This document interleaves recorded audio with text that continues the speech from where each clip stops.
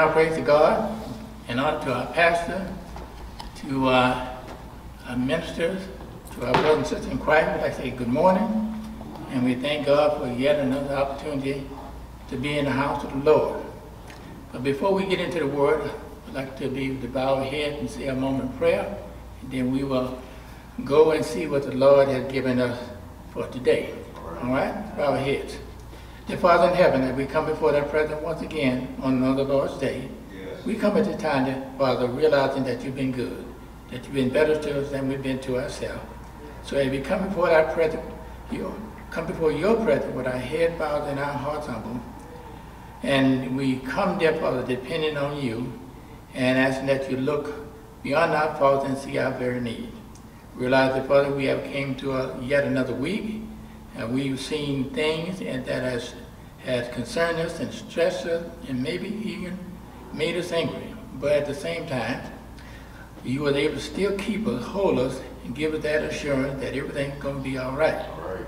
So we pray to Father that we come together this morning to study and discuss your word. We ask the Father that you stop by if you don't stay long. Allow your spirit to come in to warm and touch these cold hearts of ours mm. and give us that earnest desire to be able to, to learn and to accept your word, and not only to learn and accept it, but to apply it to everyday life. As always, don't forget those that are less fortunate than ourselves.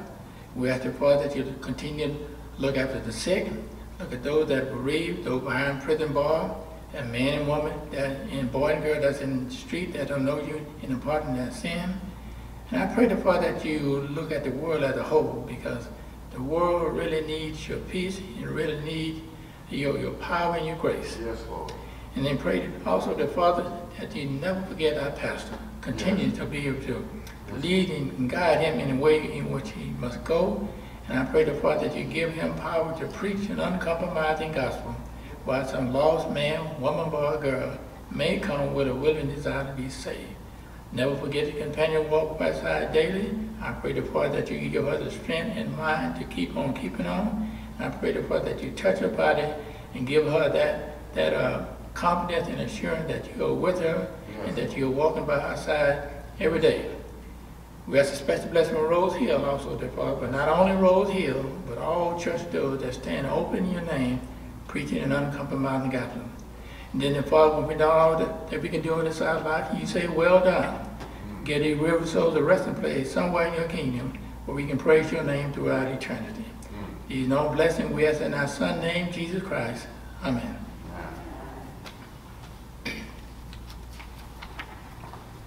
And we always say that uh, we have another good lesson.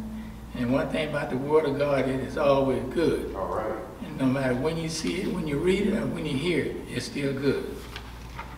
Today we are speaking about, this is September 19, and this is lesson number three.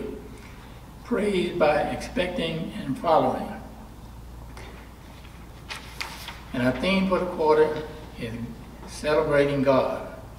And the unit theme for this lesson is God's people offer praise. Our lesson aim at participating in this lesson, each learner will be able to describe the life situation of a blind person in the time of Jesus. Explain the biblical connection between the physical blindness and spiritual blindness.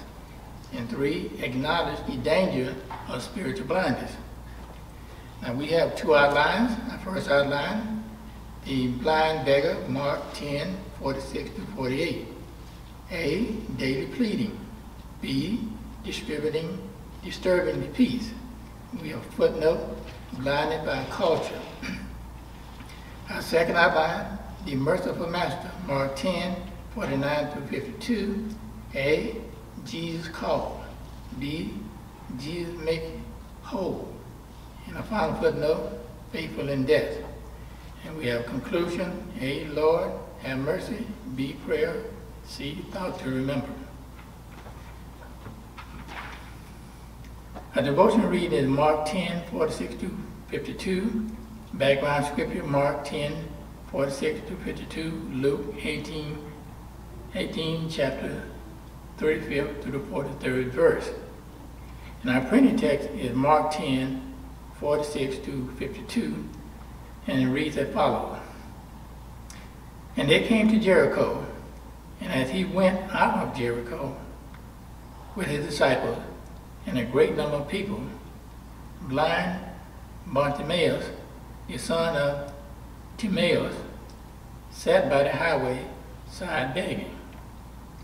And when he heard that it was Jesus of Nazareth, he began to cry out and say, Jesus, thou son of David, have mercy on me. And many charged him that he should hold his peace, but he cried the more a great deal. Thou son of David, have mercy on me.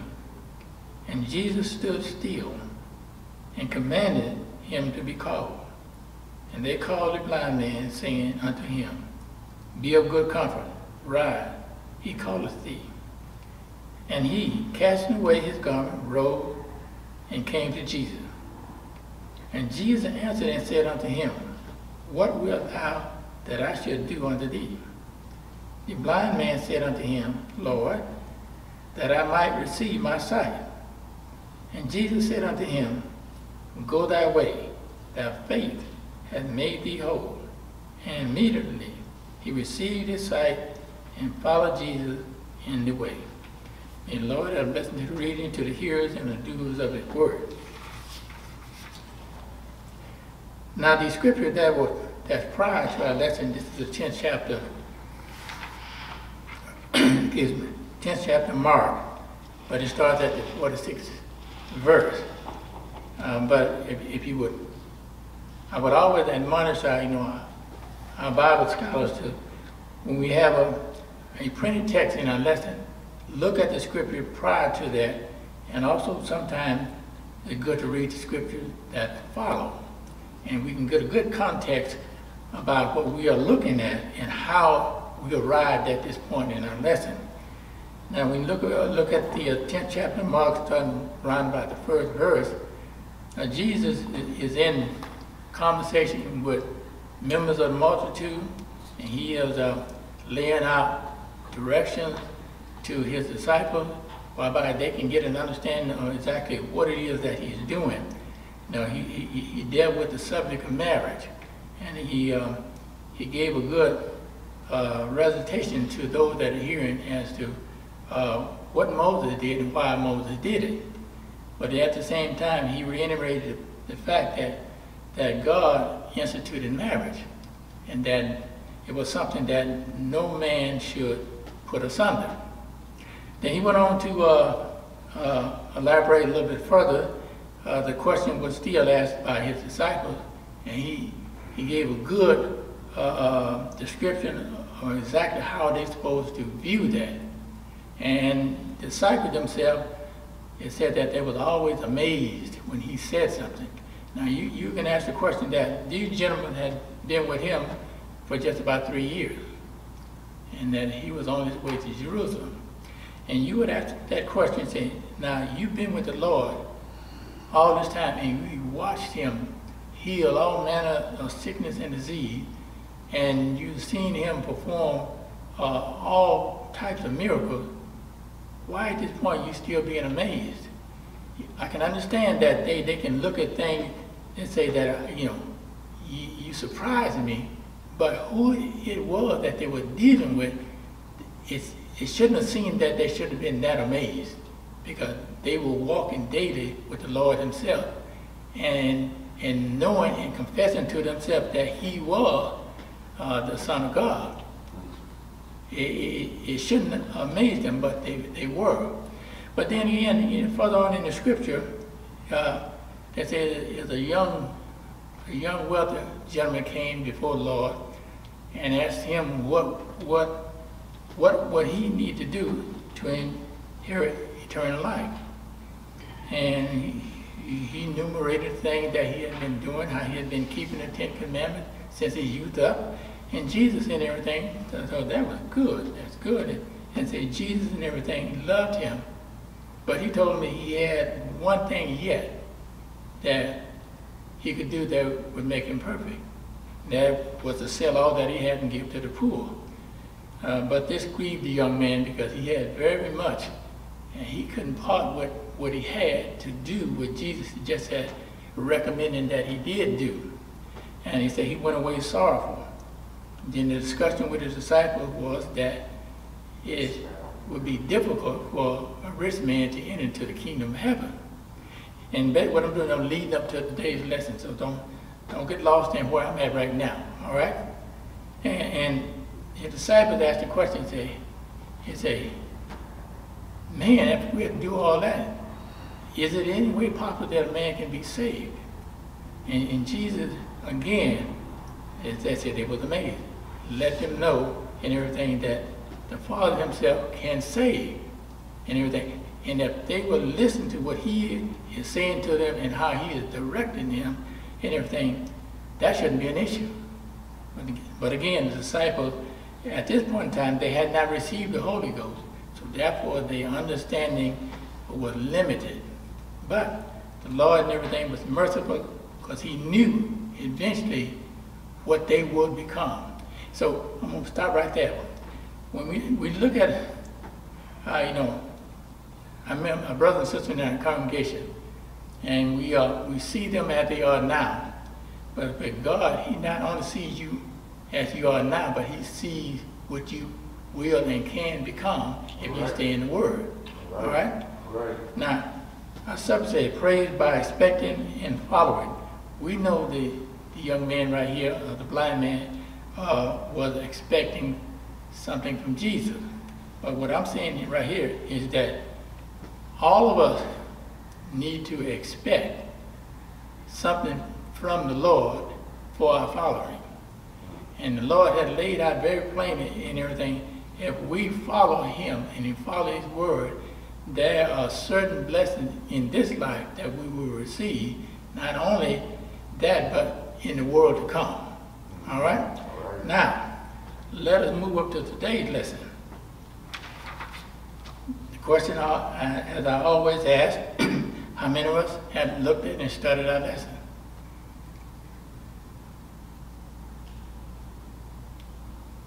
One hand. One is better than none. Okay? All right. it said that in, in, in the ancient world, blindness was a very common thing. And that uh, there was issues that uh, people used to give a reason as to why people were blind. Some say it had to do with uh, sins of the father. Some say it had to, had to do with the sins of the individual themselves. Um, but in many cases, the reason for blindness and everything was, was a, a physical condition. And, and that it, couldn't be necessary, uh, uh, uh, blame shouldn't be necessarily applied to the parents because of the person's condition. And it could not also be assigned to that individual. It could just be a, a health issue. They either was blind from birth or something caused them to be blind in life and they lost their sight. And so there's many reasons, but in the ancient time, uh, sin was always looked at as a reason why this individual, uh, individual that were blind, uh, that was the reason they had the condition. But we, we're going to look at that a little bit further in the lesson. Now, for those that looked at our lesson, let's, let's somewhat set the uh, uh, stage here. Said in our first outline, it spoke about the blind beggar. And it is a, and they came to Jericho. Now,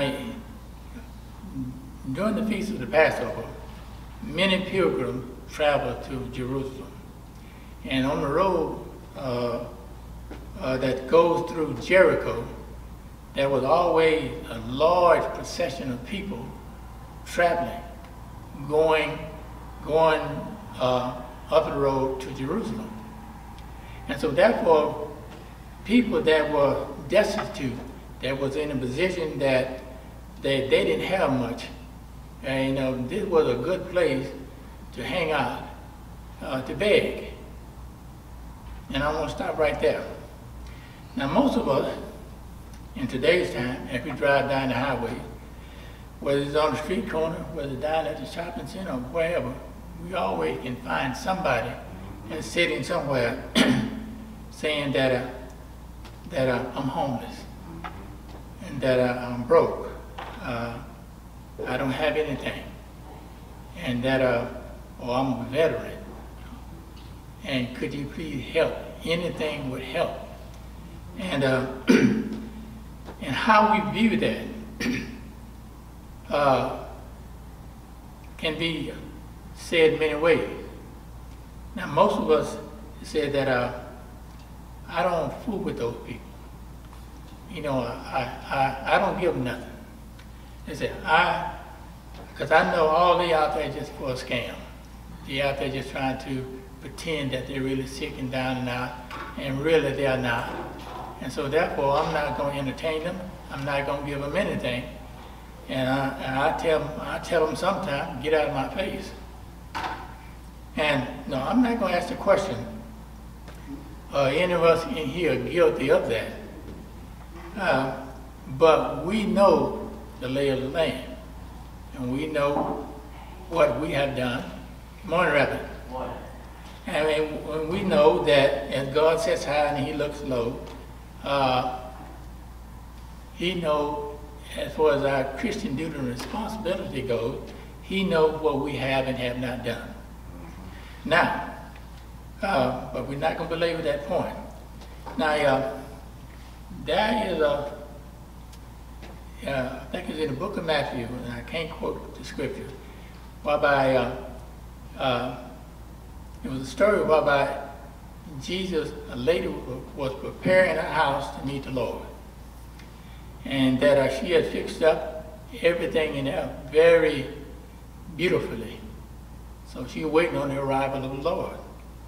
They said, then someone knocked on the door. It, said it was a, a ragged person, you know, asking for food. And she brought him off. She said, I ain't got time for this. I'm waiting on the Lord. And then there was a number of other people showed up as well. And she turned them away. But when the Lord finally appeared in the manner in which she expected him to appear, uh, he indicated to her uh, that he had been there three or four times. And each time she turned him away. And then she couldn't understand how I did that because he indicated or he referenced those individuals that came and everything were me. He said, because I didn't come in the manner that you, you look for, those individuals will be discounted. And so, if we, if we look at our lesson, you know, keep that thought in mind. Now, as the beggar was sitting by the side of the road, uh, again, we say it was a lot of traffic going along there. He felt there was a good opportunity to be able to sit and beg and, and get some benefit from these, these pilgrims, these travelers on the way to Jerusalem. Now, but as he said, uh, well, let me ask this question. Well, I'm Bible scholars.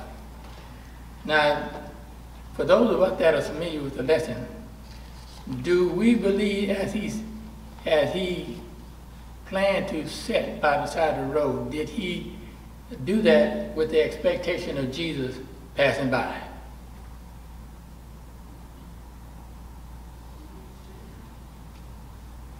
Anyone? Give it a shot. I don't think so.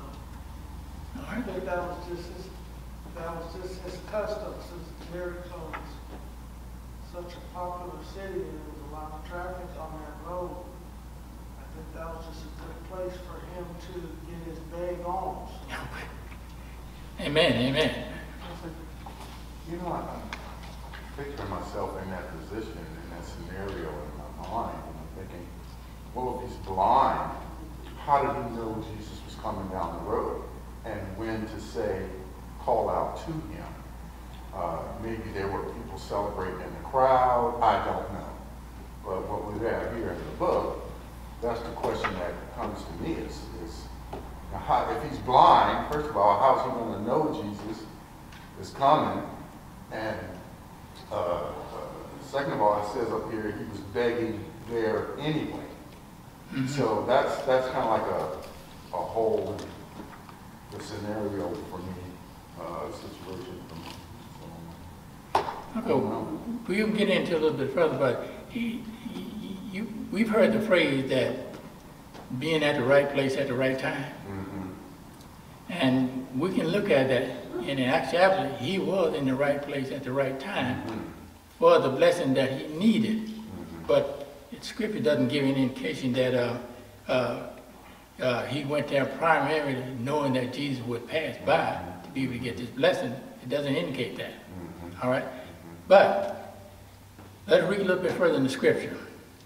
And as he went out of Jericho with his disciples and a great number of people, blind Bartimaeus, the son of Timaeus, sat by the highway. All right? And when he heard that Jesus, and when he heard that it was Jesus of Nazareth, now, as the people and the crowd of people that Yeah. are Yeah, that's right. with Jesus and Jesus' disciples. They say that uh, he heard. Now, one unique thing about the blind man or the blind beggar is that uh, he was a man of faith. Now, we know not in this quarter lesson, but in previous quarter, uh, we had long rendition by faith and how Jesus was continually trying to teach and emphasize to his disciples the power of faith and what faith could do, do for you. In many cases, he would always indicate that they had very little faith. All right? Now, and we, and we came out of those quarters with the, with the thought that, that if we have the faith that we say we have, that we don't stress, we don't worry, we, we don't come all apart when circumstances hit us, whether it be losing a job, losing a loved one, losing a home, losing a car. We know that the Lord in everything that, who is the Lord of our life, He, He knows what our situation is. And He had promised us that He would never leave us nor forsake us. Now, if your faith is solid, you know that. So no matter what comes, no matter what goes, that the Lord is in charge and He knows what your situation is and He got your back. And when a person moves and operates like that and everything, it is nothing that I worry about because we say ourselves and everything that the Lord can do the impossible. Nothing is too big for God. It's one thing to say it here inside the sanctuary, but to get out there and live it in, a, in the real world, that's two different things. All right? Talk is cheap. Anybody can talk, but then you got to live it. Now, getting back to uh, the blind man on the side of the road. It's a, he begged, he began to cry and say, Jesus, thou son of David, have mercy on me. Now, that right there, when he alluded to the fact, the son of David. Now, I don't know whether or not the, the crowd, anybody in the crowd knew who he was referencing, uh, how he understood this, but he did know this. When you look at him, he was physically blind, but that showed by that statement that he had, I think the um, commentary put it very well, saying, Bartimaeus was physically blind, but spiritually his vision was 20/20. So, so therefore, spiritually, when he heard the name of Jesus, he knew that Jesus had what he needed, and that that was a gift of sight. So, I don't know how many days he, he sat out there on the side of the road, but this time, he wasn't going to let this opportunity get past him. And that he was going, he's going to call out to Jesus, let it, let it be known that uh, hear him. Now, there, there was some other lesson that we had uh, in other commentary whereby uh, uh, there were lepers. And, and uh, as Jesus passed by these leper colonies, they cried out to him to have mercy on them. And they knew, there was another faith lesson, they knew that Jesus had the power to heal them from their sickness of, that they had. All right? And therefore they were blessed. Well, I, um, it was no secret that they knew that the Messiah would come from the lineage of David. There were so many descriptive signs about the Messiah, even to where he would be born at.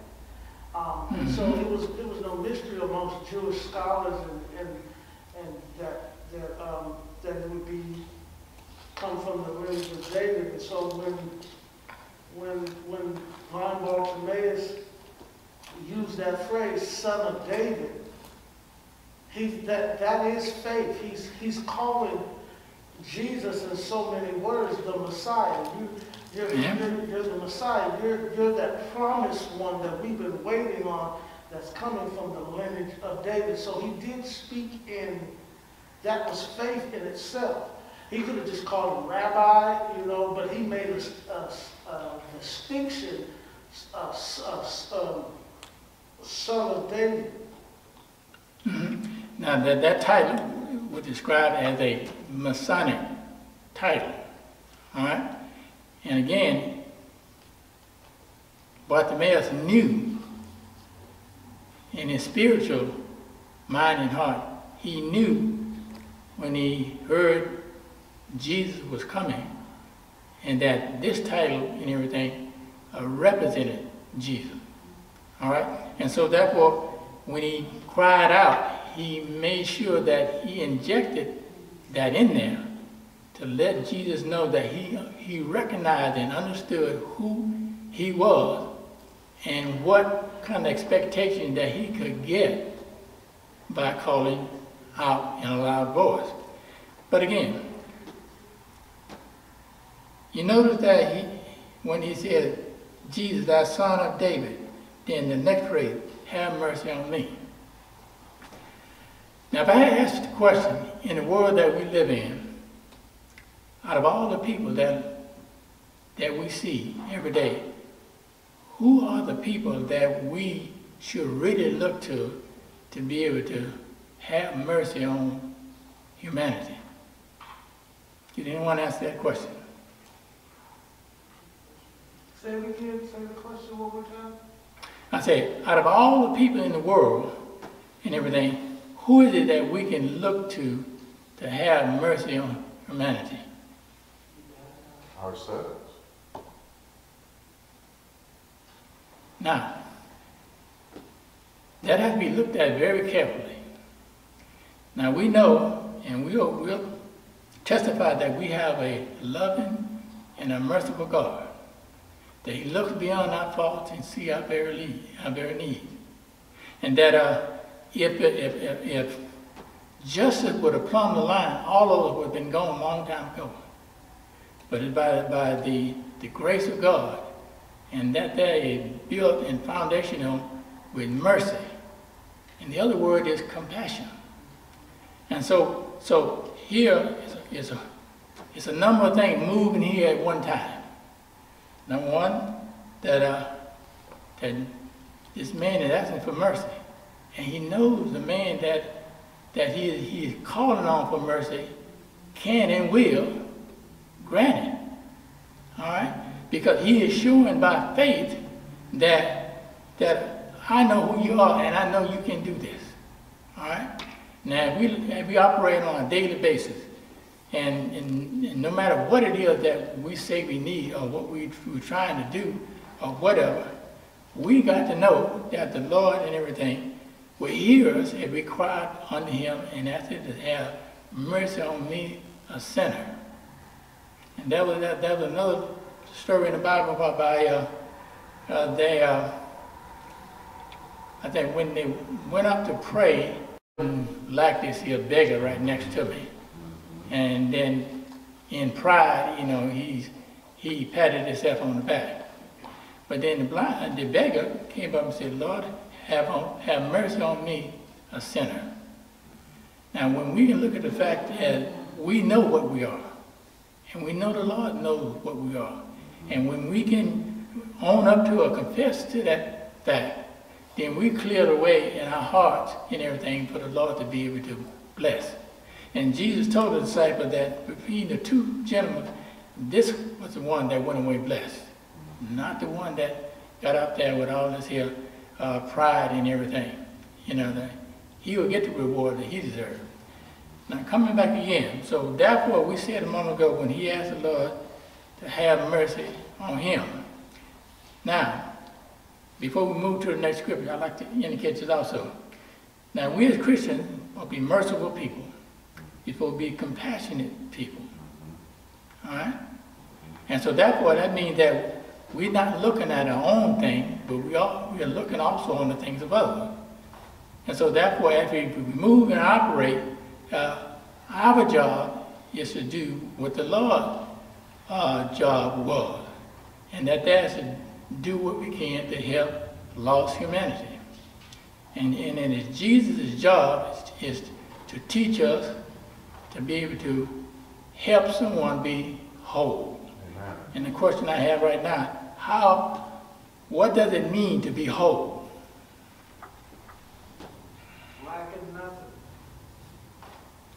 Lacking nothing. Well, that's a good phrase. Anyone else? be whole down here on earth? Or just in general? Whole, yeah, Well, let's look at the word whole and mean in its totality. We are, we are the individual in our totality. What does the word whole completely mean? Now, Reverend say lacking nothing. Yes, that is lacking nothing. But I'm looking for Accepting Christ. True, accepting Christ. So let, let me put it in just simpler terms.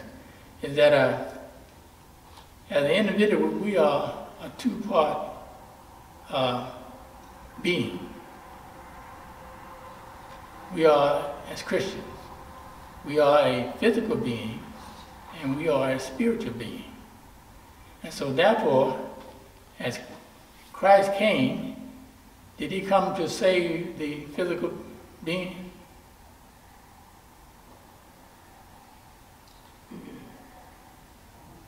No. All right. But why not here on earth? Uh, in our physical attribute, it should be designed to be able to operate in God's stead.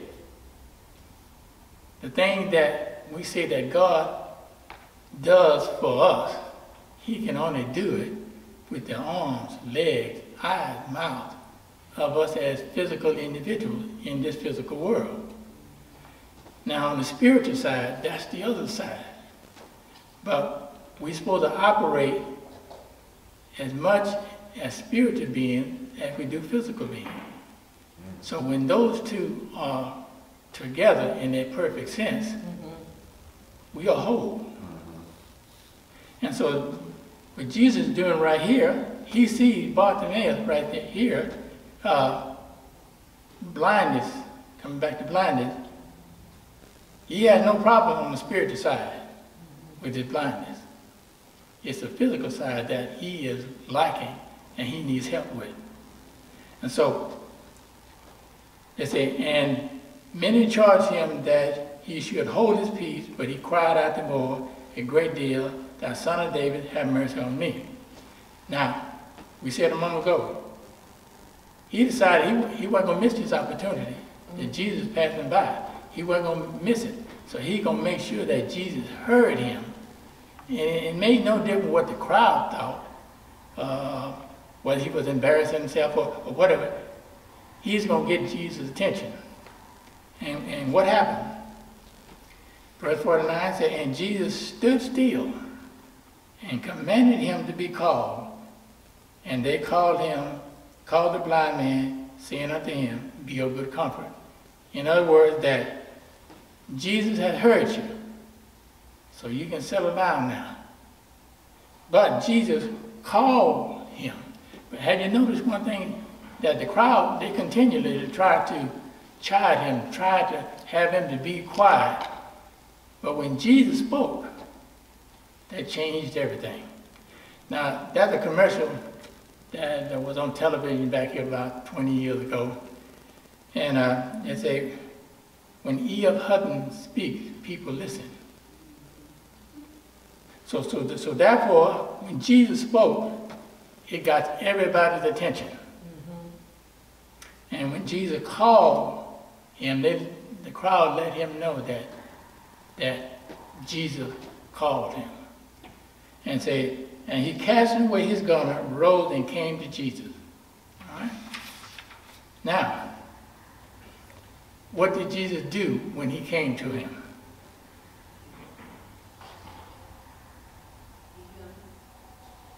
Question. Let's see, sister. What did Jesus do?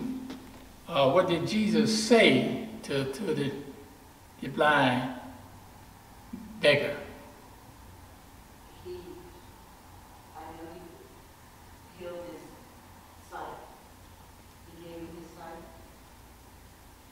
Well, you, yeah, we, we know he did that, but what, what did Jesus ask him? He told him to stand up. And, and it- what it says here, it says, uh, he was a comfort, told him to be of good comfort, rise. He told him to stand up. Yes, and then he took up his robe and did as Jesus commanded. Mhm. But what did Jesus ask him? Will thou be made whole? Okay. He said, and Jesus answered and said unto him, What wilt thou that I should do unto thee? Now, why do we feel that Jesus asked him that question? Because he had already cried out to him, so he, he was wanted something from him. Sometimes, uh, sometimes we, we use the questions as sort of what they call rhetorical. Now, it wasn't the fact that Jesus didn't know who he was. It wasn't the fact that Jesus didn't know what he was asking, but he still asked the question. Mm-hmm.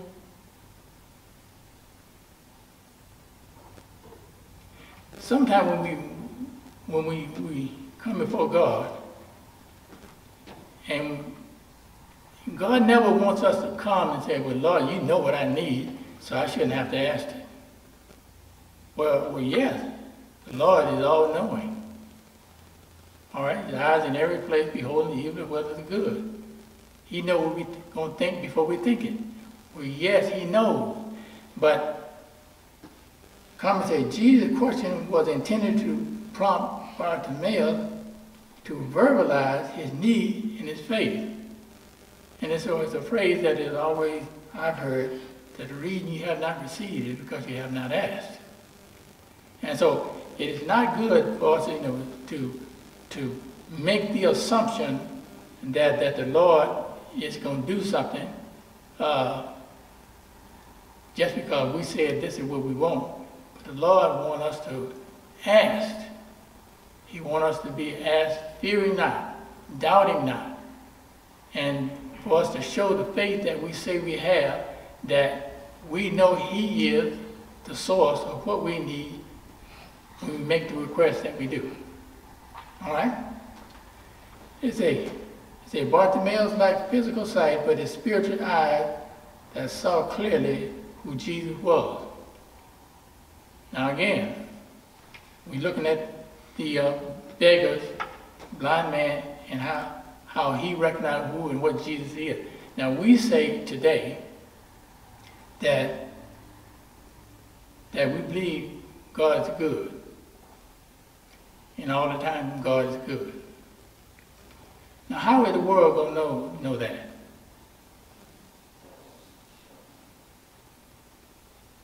Witness.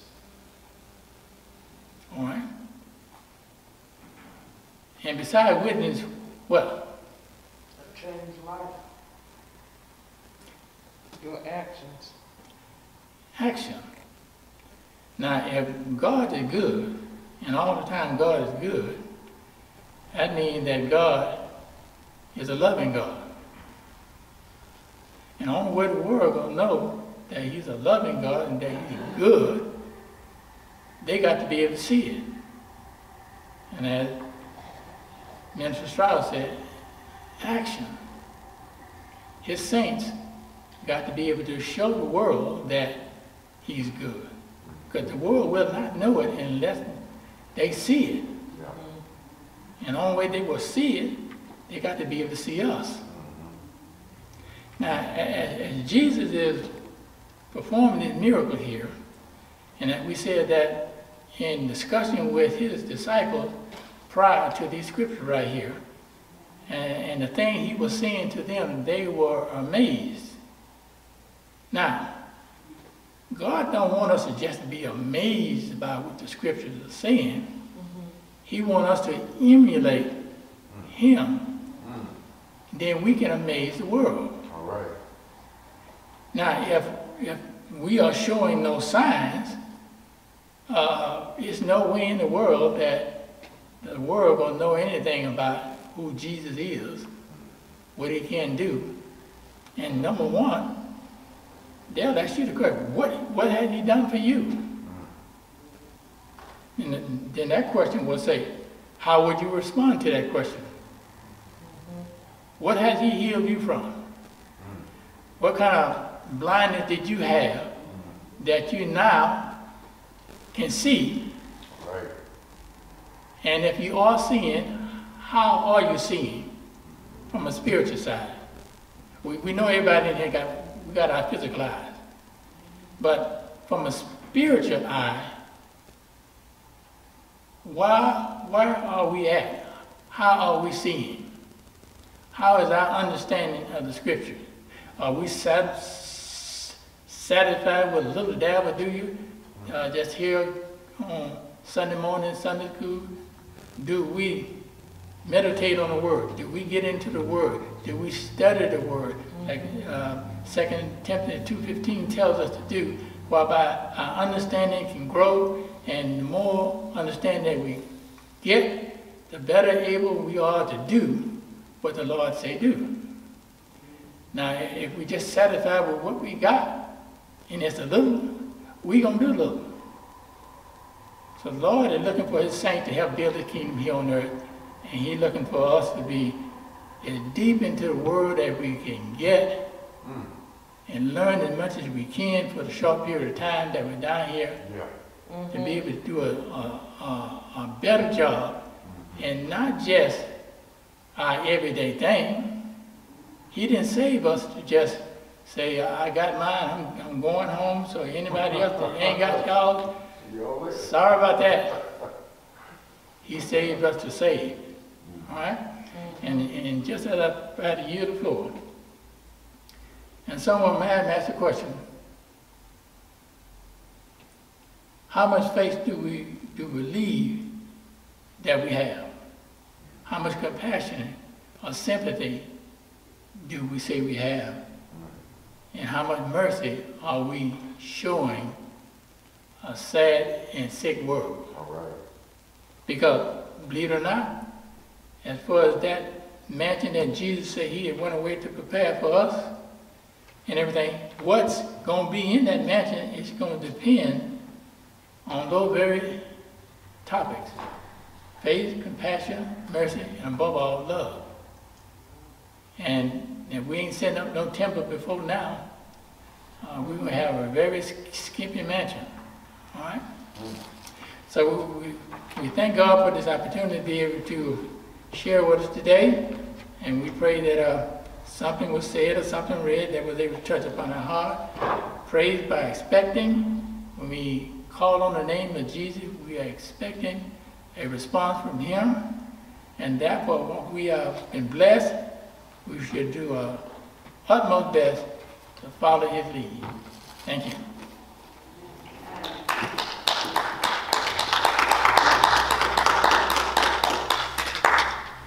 Well, Superintendent,